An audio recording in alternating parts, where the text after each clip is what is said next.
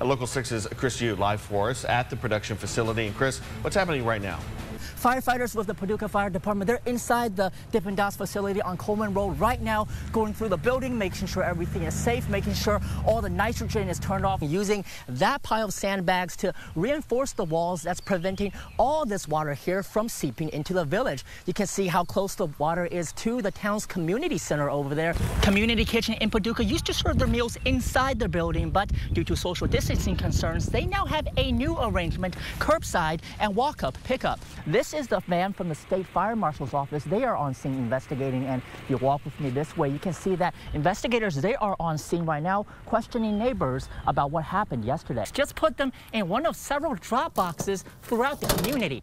The books are then taken to this quarantine room where they are placed in these fully enclosed bins. And it is closed right now because of this behind me, a giant landslide that probably happened early yesterday morning. The security camera pointing at it is fairly large and in plain sight. In fact, the thief walked by three cameras without making much of an effort to disguise himself. A distant cousin of Dillo, her name is Sarah. You can see that the stone is leaning this way a little bit and the top part of the stone was knocked off. And she actually helped treat the first COVID-19 patient in the state. Today, she shared her thoughts on the vaccine's impact.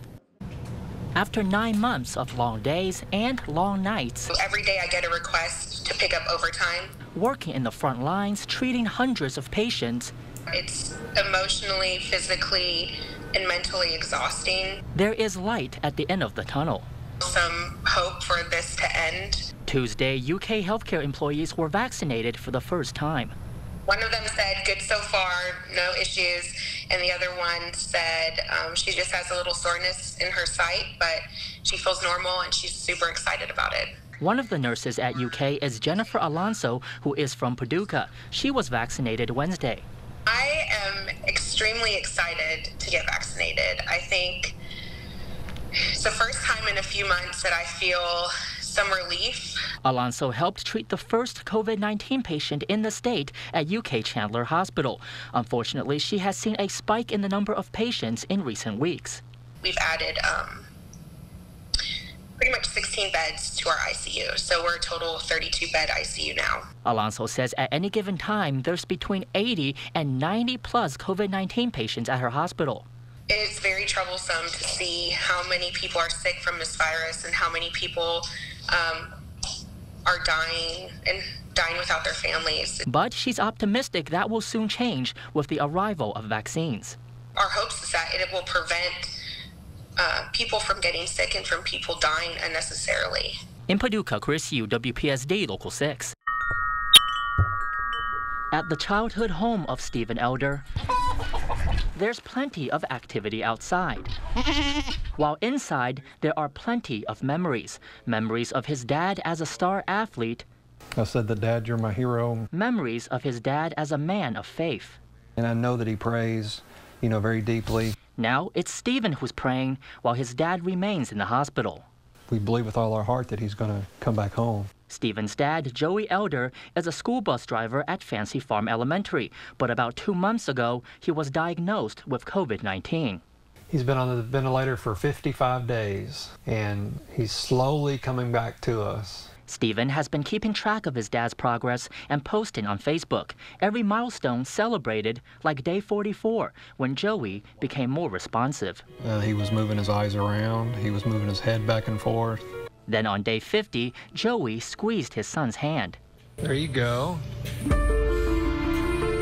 Tried to move your arm. Good job, Dad. And on day 55, Joey had some mouth movement. Those beautiful blue eyes was, was wide open, and and you could tell that he was he was trying to say something. Stephen is grateful of all the support his family has received every time he posts about his dad. He has students um, that, that want to follow his progress. Obviously, he has his family that want to, wants to follow his progress. So it's extremely therapeutic to me. And sometimes it's overwhelming at times, just the number of people that I know that my dad's life has touched. About a year and a half ago, Joey recorded this video message for Stephen. I love you, boy. And I'll love you until the day I die. Even after I leave this world, the love will never end. Stephen recently played that video back to his dad at his hospital bed.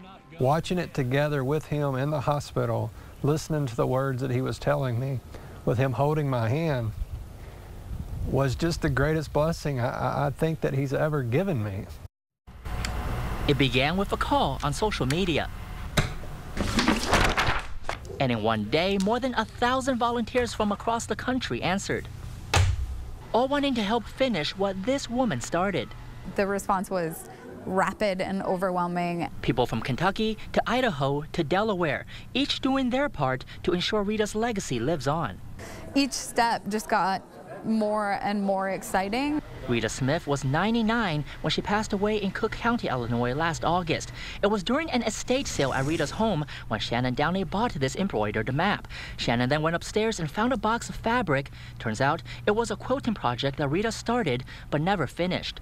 But when I when I found this one, I realized it was massive and would take the rest of my life to do by myself. Um, but I bought it because I knew that it had to be done. So Shannon got on Instagram to ask for help finishing Rita's quilt. And within a few months, it was complete thanks to the work of about 150 people from 34 states and Canada. I'm so glad you guys were here. On Saturday, Rita's quilt debuted at the National Quilt Museum in Paducah. I think that art, in this case, is what is our common language. So that's what has brought us all together. For Shannon, it means Rita can now rest easy. It's it is a gift, um, and I, I don't take that lightly. And for everyone involved, it means new friendships for the rest of their lives. The most memorable part is, is actually getting to meet the other women that I that I crafted with, to get to hug them and, and find out where they're from and hear their story. In Paducah, Chris Yu.